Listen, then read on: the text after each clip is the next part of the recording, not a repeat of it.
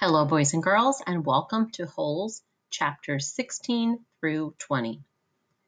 As Stanley entered the rec room, he could hear X Ray's voice from all the way across the room.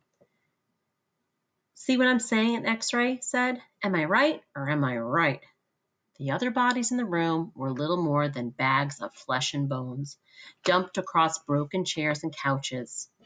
X Ray was full of life, laughing and waving his arms around as he talked. Yo, caveman, my man, he called out. Stanley made out his way across the room. Hey, slide on over, Squid, said X-Ray. Make room for caveman.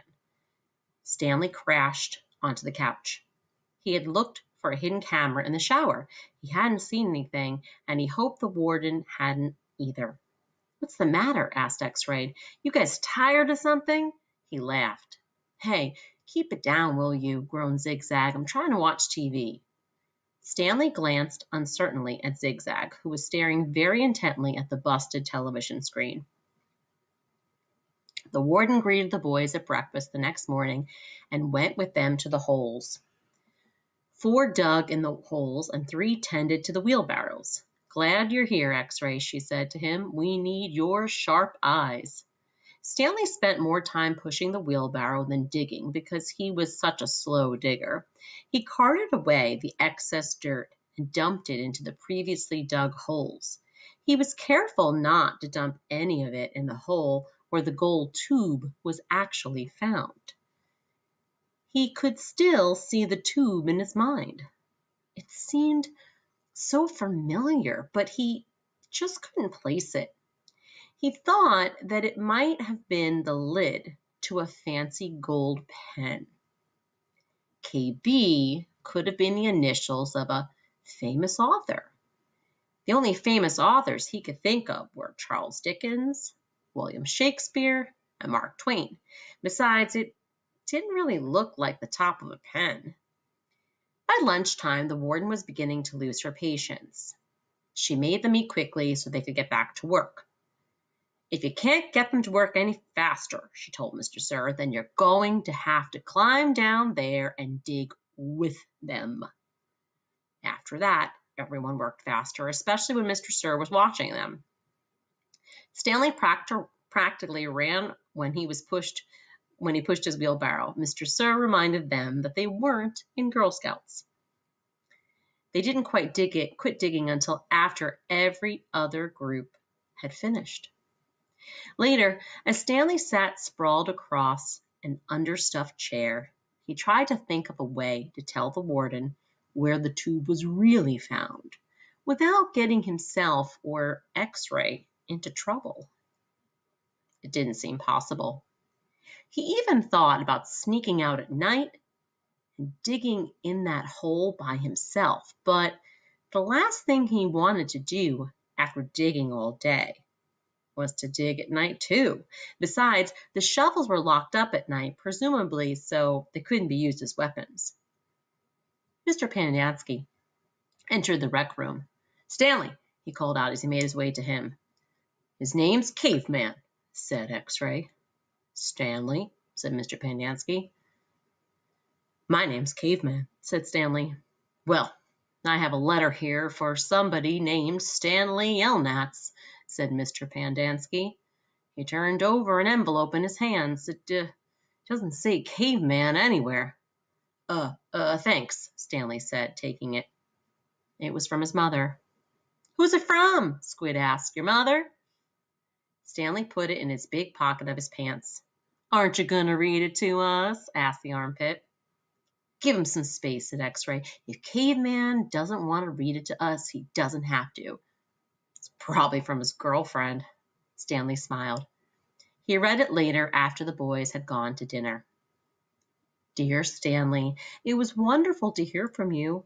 Your letter made me feel like one of the other moms who can afford to send their kids to summer camp. I know it's not the same, but I am very proud of you for trying to make the best of a bad situation. Who knows? Maybe something good will come of this. Your father thinks he is real close to a breakthrough on a sneaker project. I hope so.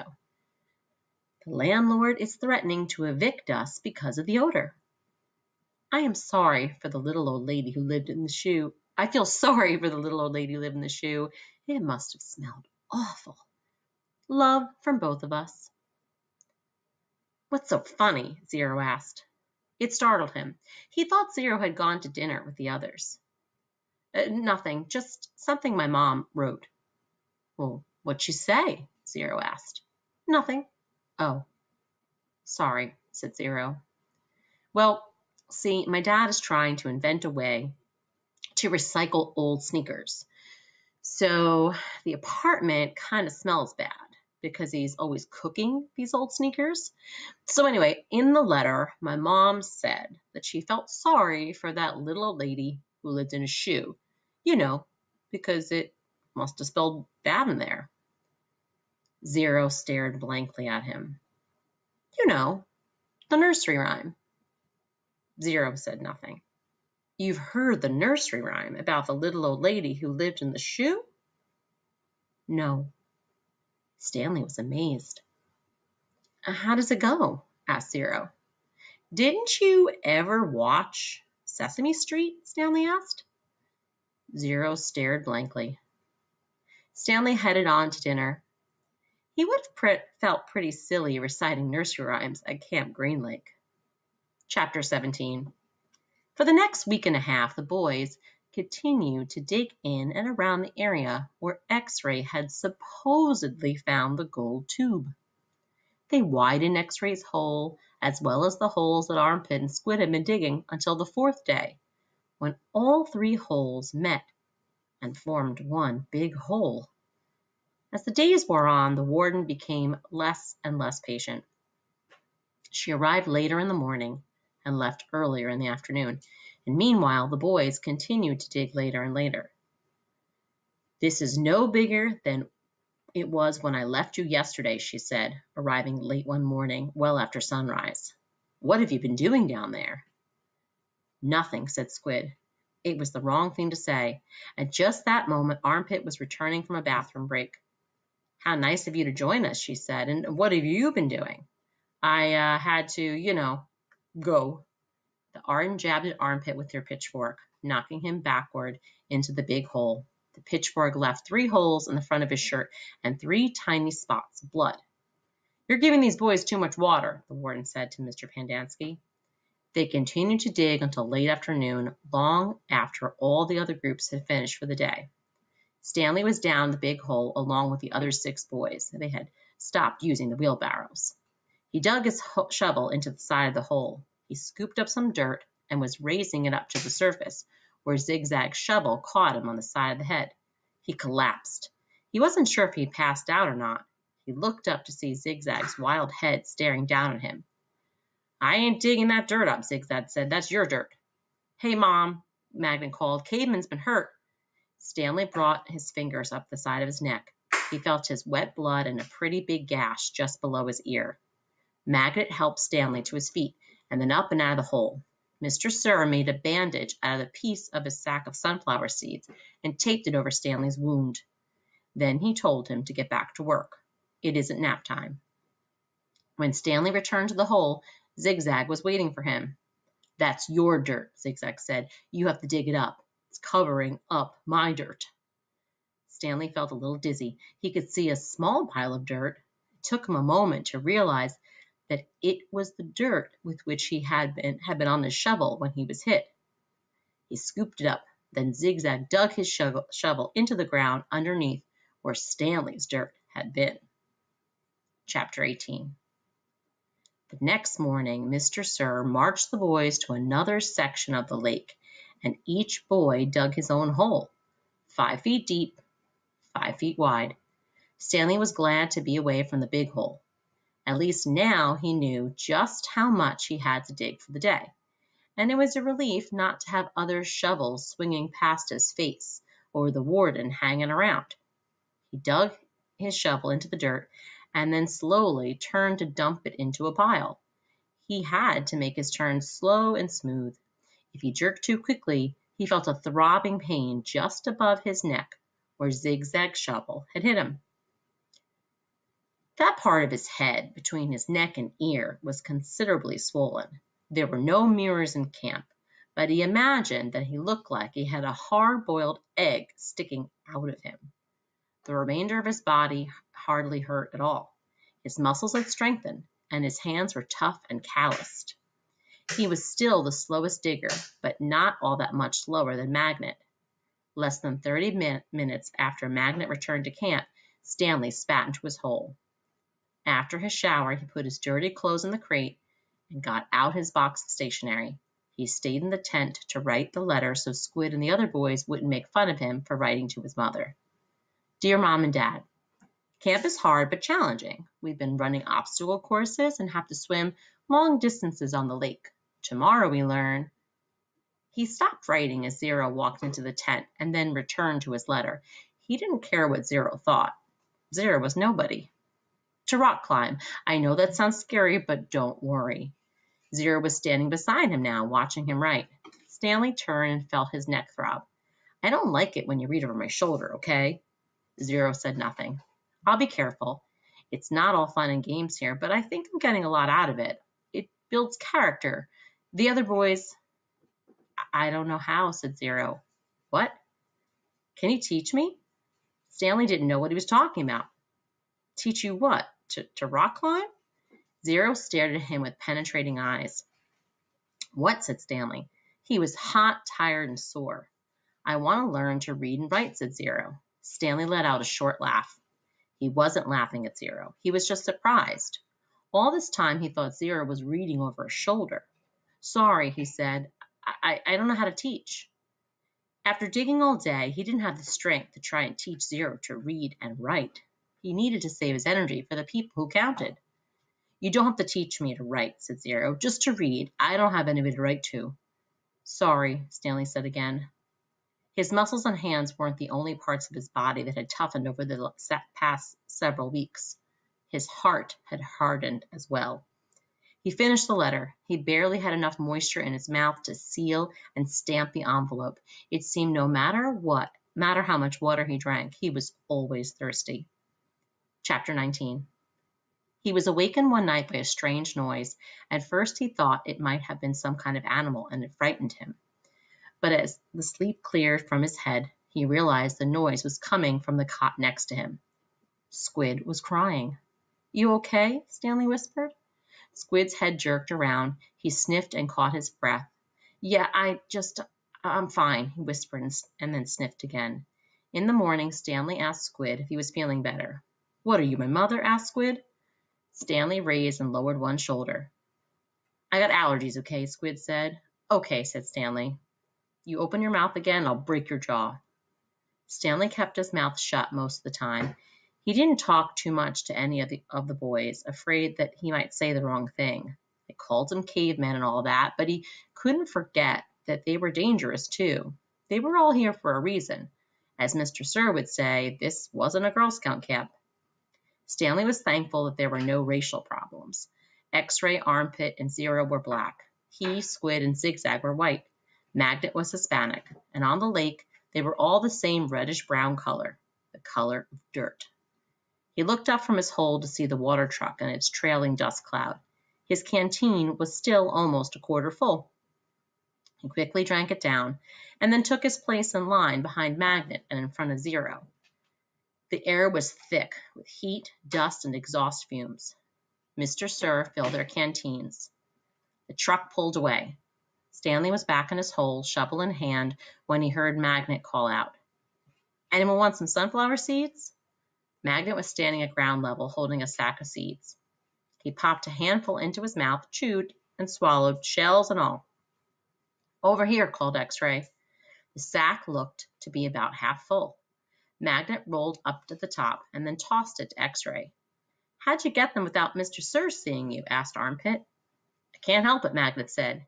He held up both hands, wiggled his fingers, and laughed. My fingers are like little magnets. The sack went from X-Ray to Armpit to Squid. It sure could eat something that doesn't come from a can, said Armpit. Squid tossed the sack to Zigzag. Stanley knew what would come to him next. He couldn't even want, he didn't even want it. From the moment Magnet shouted, Anybody want some sunflower seeds? He knew that there would be trouble. Mr. Sir was sure to come back, And anyway, the salted shells would only make him thirsty. Come on your way, caveman, said Zigzag. Airmail and special delivery.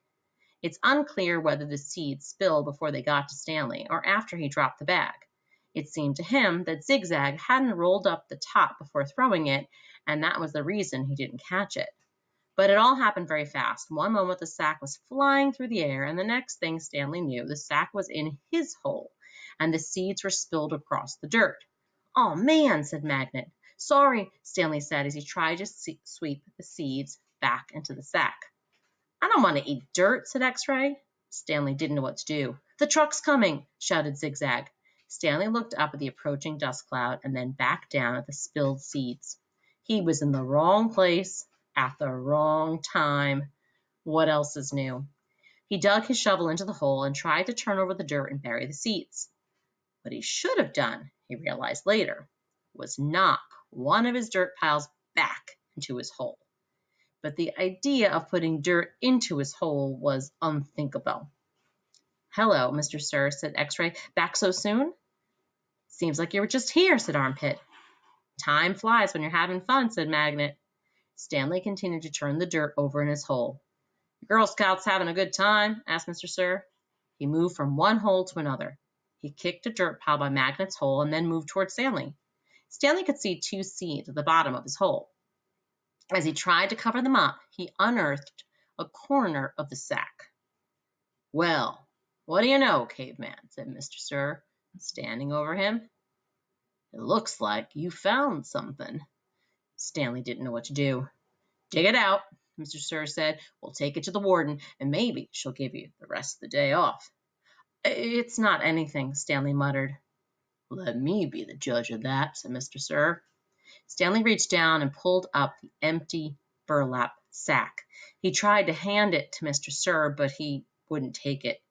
So tell me, caveman, said Mr. Sir, how did my sack of sunflower seeds get in your hole? I, I stole it from your truck. You did? yes, Mr. Sir. What happened to all the sunflower seeds? I ate them. By yourself? Yes, Mr. Sir. Hey, caveman, shouted Armpit, how come you didn't share any with us? That's cold, man, said X-Ray. I thought you were our friend, said Magnet. Mr. Sir looked around from one boy to another and then back to Stanley. We'll see what the warden has to say about this. Let's go. Stanley climbed up out of his hole and followed Mr. Sir to the truck. He still had the empty sack. Felt good to sit inside the truck out of the direct rays of the sun. Stanley was surprised he could feel good about anything at the moment, but he did. It felt good to sit down on a comfortable seat for a change, and as the truck bounced along the dirt, he was able to appreciate the air blowing through the open window into his hot and sweaty face. Chapter 20 It felt good to walk in the shade of two oak trees. Stanley wondered if this was how a condemned man felt on his way to the electric chair, appreciating all the good things in life for the last time. They had to step around holes to get to the cabin door, and Stanley was surprised to see so many around the cabin. He would have expected the warden to not to not want the campers digging so close to her home. But several holes were right up against the cabin wall. The holes were closer together here as well, and were of different shapes and sizes. Mr. Sir knocked on the door. Stanley still held the empty sack. Yes, the warden said, opening the door. There's uh, been a little trouble out in the lake, Mr. Sir said. Caveman will tell you all about it. The warden stared at Mr. Sir for a moment. Then her gaze turned toward Stanley. He felt nothing but dread now. Come in, I suppose, said the warden. You're letting the cold out. It was air conditioned inside her cabin. The television was going. She picked up the remote and turned it off. She sat down in a canvas chair. She was barefoot and wearing shorts. Her legs were as freckled as her face and arms. So what is it you have to tell me? Stanley took a breath to steady himself. While Mr. Sir was filling the canteens, I snuck into the truck and I stole his sack of sunflower seeds. I see, she turned to Mr. Sir. That's why you brought him here? Yes, but I, I think he's lying. I think someone else stole the stack and Caveman's covering up for X-Ray or somebody. It was a 20 pound sack, and he claims to have eaten them all by himself. He took the sack from Stanley and handed it to the warden. I see, the warden said again. The sack wasn't full, said Stanley, and I spilled a lot. You can check my hole. In that room, caveman, there's a small flowered case. Will you get it for me, please? She pointed to the door. Stanley looked at the door and then at the warden, then back at the door, and he slowly walked towards it. It was a kind of dressing room with a sink and a mirror. And next to the sink, he saw the white the case with white white with pink roses. He brought it back out to the warden, and she set it on the glass coffee table in front of her. She unclasped the latch and opened the case. It was a makeup case. Stanley's mother had one similar to it. He saw several bottles of nail polish, polish remover, and a couple of lipstick tubes, and other jars and powders. The warden held up a small jar of red, dark red nail polish. You see this caveman? He nodded. This is my special nail polish. Do you see the dark, rich color? You can't buy that in a store. I have to make it myself. Stanley had no idea what she was showing it to him. He wondered why the warden would have ever had the need to wear nail polish or makeup. Do you want to know my secret ingredient? He raised and lowered one shoulder. The warden opened the bottle. Rattlesnake venom. And with a small paintbrush, she began applying it to the nails of her left hand. It's perfectly harmless when it's dry. She finished her left hand and she waved it in the air for a few seconds and then began painting the nails on her right hand.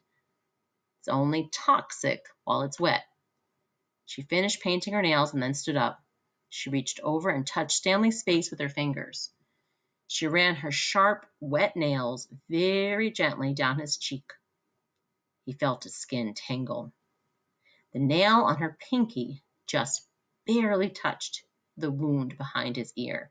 A sharp sting of pain caused him to jump back. The warden turned to face Mr. Sir, who was sitting on the fireplace hearth. So you think he stole your sunflower seeds? No, he says he stole them, but I think it was. She stepped toward him and struck him across the face. Mr. Stir, Mr. Sir stared at her. He had three long red marks slanting across the left side of his face. Stanley didn't know if the redness was caused by her nail polish or his blood. It took a moment for the venom to sink in. Suddenly, Mr. Sir screamed and clutched his face with both hands. He let himself fall over, rolling off the hearth and onto the rug. The warden spoke softly. I don't especially care about your sunflower seeds. Mr. Sir moaned. If you must know, said the warden, I liked it better when you smoked. For a second, Mr. Sir's pain seemed to recede. He took several long, deep breaths. Then his head jerked violently, and he let out a shrill scream worse than the one before. The warden turned to Stanley. I suggest you go back to your hole now. Stanley started to go, but Mr. Sir lay in the way. Stanley could see the muscles on his face jump and twitch. His body writhed in agony. Stanley stepped carefully over him. Is he... Excuse me, said the warden. Stanley was too frightened to speak. He's not going to die, the warden said. Unfortunately for you. Boys and girls, thank you for listening for chapters 16 through 20.